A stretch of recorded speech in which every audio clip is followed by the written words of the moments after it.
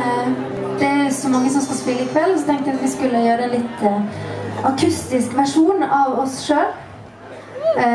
og ja, siden det er, så, det er en superfest, så har vi lyst til å spille en av våre favorittlåter også. Det må jo være lov. Thomas vil ha litt mer bass i gitaren, sier han. Jeg må snakke for ham. Det låter veldig rart. Takk. Der. Eh, kanskje kommer det som en overraskelse for dere, men jeg, jeg er veldig glad i Nirvana. Um, er dere det? Jeg tenkte vi skulle gjøre 'Smells Like Teen Spirit'. Den går.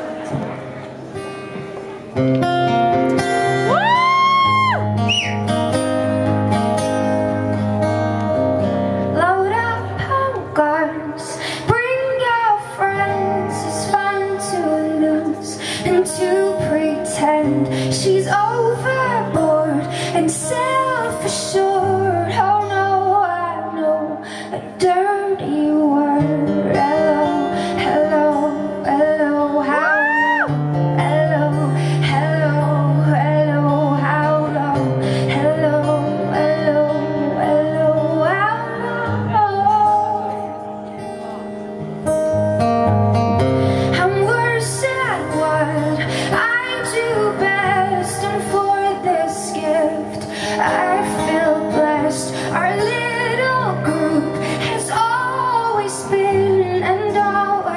Until the end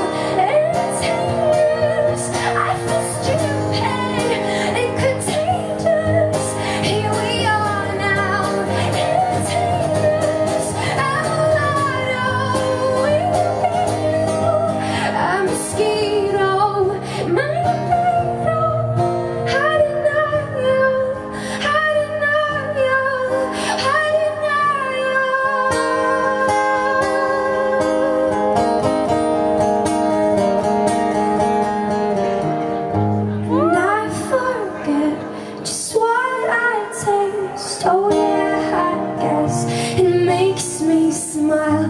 I